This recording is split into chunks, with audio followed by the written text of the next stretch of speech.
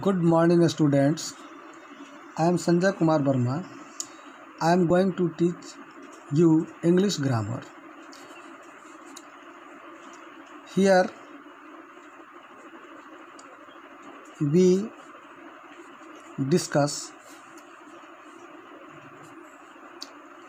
gender for the class 3. There are four genders in English grammar. अंग्रेज़ी grammar में, English व्याकरण में, अंग्रेज़ी ग्रामर में या जेंडर जो होते हैं, वो चार होते हैं। पहला, फ़र्स्ट मैसुकुलिन जेंडर, जो मेल के लिए स्टैंड, यानी कि पुरुष के लिए स्टैंड होता है, पुरुष के लिए होता है। दूसरा, फेमिनिन, ये फीमेल, यानी कि स्त्रीलिंग होता है। तीसरा, कॉमन, जो दोनों के लिए मेल और फीमेल दोनों के लिए यूज़ किया जाता है। और न्यूटर जेंडर जो नॉन लिविंग आर्टिकल्स के लिए होता है। ठीक है बच्चों? अब ध्यान देना है कि मैसुक्लिन जेंडर किसे कहते हैं?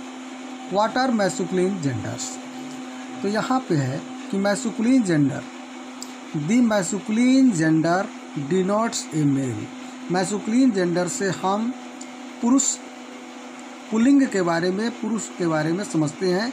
यह मैसुक्लिन जेंडर जो है, हमें बताता है कि संज्ञा जो है, वो पुलिंग है। ठीक है ना? जैसे मैन, आदमी, मैन, किंग, राजा, लायन, शेर, फादर, पिता, ये सभी पुरुष हैं, मेल हैं।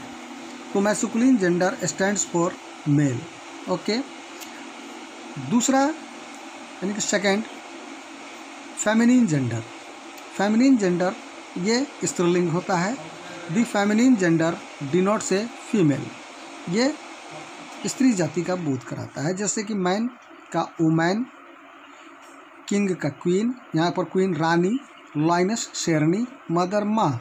आपने देखा, यहाँ पे मैन पुरुष का बोधक है वोमैन स्त्री का किंग पुरुष का क्वीन स्त्री का लायन मेल यानी पुरुष का और लाइनेस फीमेल यानी स्त्रीलिंग का father male mother female now change the male into females ये होमवर्क आप लोगों को दिया जा रहा है। अब इस मेल को, यानी कि पुलिंग को आपको स्त्रीलिंग में बदल देना है। Tiger prince, father, brother, son, बा, किंग, अंकल, कॉक, हस्बैंड। आप जैसा कि जानते होंगे, टाइगर का हिंदी क्या होता है? टाइगर को बाघ कहते हैं, है ना? तो बाघ का क्या होगा? बाघिन, यानी कि टिग्रेस। प्रिंस राजकुमार, प्रिंसेस राजकुमारी। फादर का तो ऊपर हम लिख ही चुके हैं, ब्रदर का भाई होता है ना तो सिस्टर सन का बेटा तो डॉटर मीन्स बेटी बॉय लड़का गर्ल लड़की किंग राजा क्वीन रानी अंकल चाचा अंट चाची कॉक मुर्गा हेन मुर्गी हस्बैंड पति वाइफ पत्नी। ओके